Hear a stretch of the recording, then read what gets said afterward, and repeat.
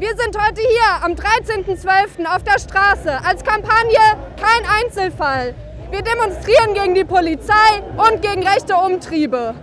Egal, ob NSU 2.0, Racial Profiling, die AfD als zweitstärkste Kraft in Hessen. Es sind harte Zeiten für Linke gerade in Deutschland. Der Höchststand ist erreicht. Aktuell sind 674 Neonazis einfach so untergetaucht.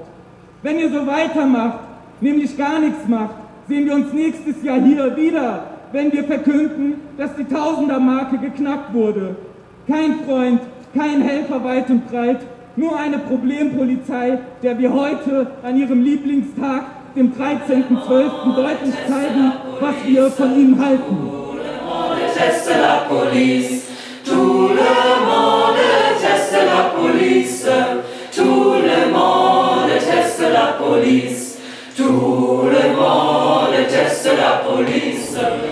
Racial Profiling und rassistische Polizeigewalt sind alltäglich und finden überall statt.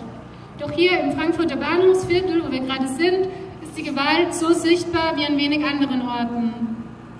So wurde Armin F. vor einem Jahr eben in diesem Viertel von der Polizei erschossen. Konsequenzen gab es auch hier keine. Anstatt dieses Polizeiproblem anzuerkennen, hat die Stadtpolitik entschieden, das Bahnhofsviertel zu einer Waffenverbotszone zu machen. Diese Regelung gilt jetzt seit dem 1. November, immer von 20 bis 5 Uhr. Für uns als Korbdeutsch ist klar, dass diese Verfügung nicht für mehr Sicherheit für die Menschen hier im Bahnhofsviertel sorgen wird, sondern ihr Leben noch mehr bedroht und insgesamt zu mehr Unsicherheit insbesondere für mehrfach marginalisierte Menschen, führen wird. Verdachtsunabhängige Polizeikontrollen sind im Frankfurter Bahnhofsviertel ohnehin schon alltäglicher Ausnahmezustand. Im Hinblick auf die Waffenverbotszone werden sich rassistische Polizeikontrollen noch weiter verschlimmern und vermehren. Solche allgemeinen Waffenverbote erhöhen das Risiko für willkürliche Kontrollen und damit auch die reale Gefahr für rassistische Polizeigewalt. Noch was bringt uns heute speziell auf die Frankfurter Straßen. Vor kurzem entschied das Landgericht Frankfurt, dass es die Anklage wegen der rassistischen und antisemitischen Chatgruppe Idiotentreff unter PolizistInnen vom ersten Revier an der Frankfurter Konstablerwache die fatale Wirkung des Urteils zu den extrem rechten Chats in der Polizei Frankfurt sind bereits jetzt spürbar. Denn, so berichtet die Bildungsstätte Anne Frank aus ihrer Bildungsarbeit nach diesem Beschluss, Zitat, Viele PolizistInnen hatten den Eindruck gewonnen, dass solche Aussagen in Ordnung sind. Zitat Ende.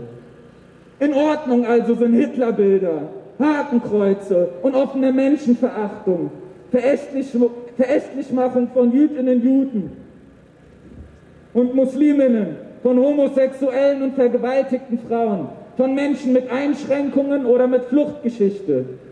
Nichts ist in Ordnung, sagen wir als polizeikritisches Bündnis und deshalb stehen wir heute hier alle gemeinsam auf der Straße und fordern, erst das Polizeirevier in Frankfurt dicht machen.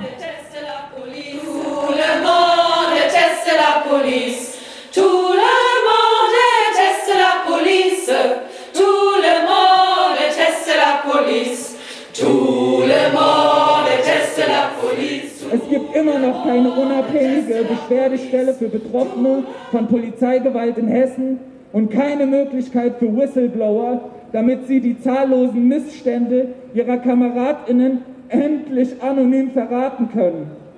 Solange sich also gar nichts ändert, bleiben wir kompromisslos und bleiben wir grundsätzlich. Polizei abschaffen heißt Leben retten. Gegen jeden Faschismus, mit und ohne Uniform. Le monde.